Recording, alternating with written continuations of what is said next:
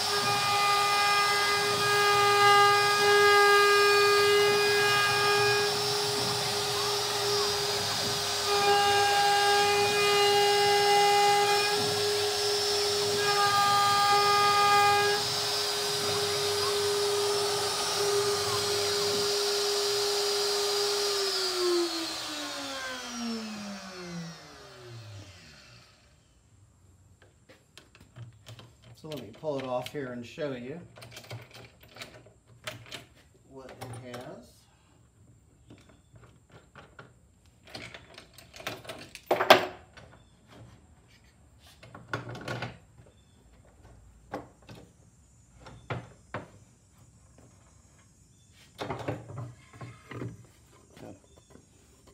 That is what it has done so far. This is what you come up with when you do the both sets of cuts, of tile one and tile two. The hard part is that interface. You can see right in the middle of the screen. There's a spot right there.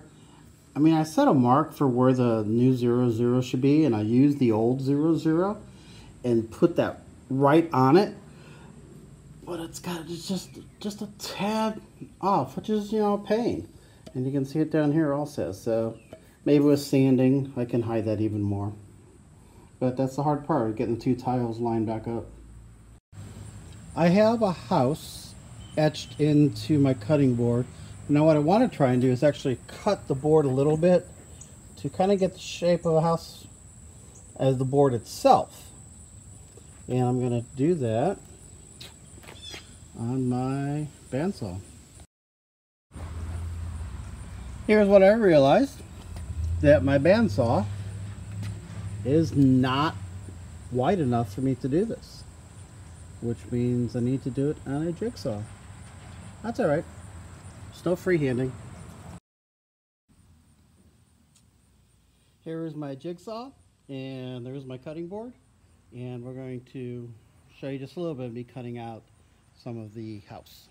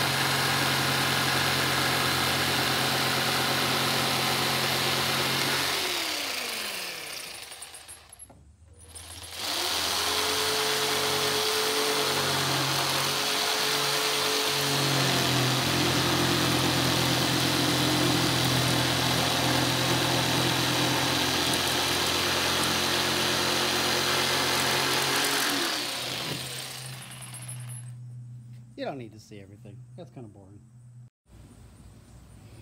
This is the finished product of cutting my cutting board. Now I need to sand it. Um, maybe put a round edge on it. I think I need it, yeah. And then oil it up.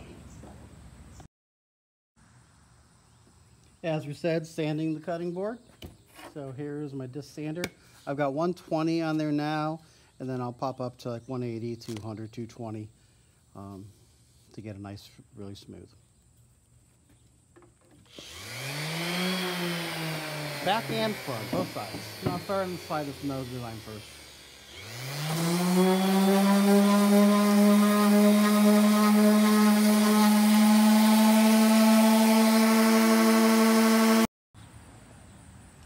For the design part that I cut out for this routing that I did, I'm going to use a sponge sander to be a little more control, a little bit easier on it.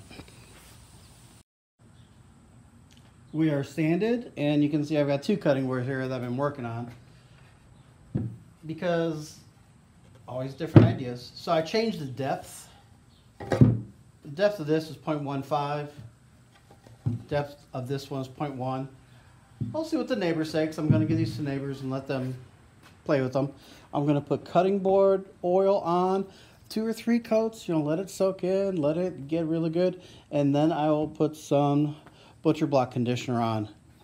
And that is what I will do with them. And again, one or two, you know, one or two coats of the conditioner. And that should be, you know, the end. And it's really just put the oil on and work it around. And I have no problem doing this by hand. I mean, it's just oil. It's it's it's a mineral oil, and it's got some vitamin uh, E or D in it for uh, stability. So some people want to use gloves. Some people want to use uh, a rag, and that's fine.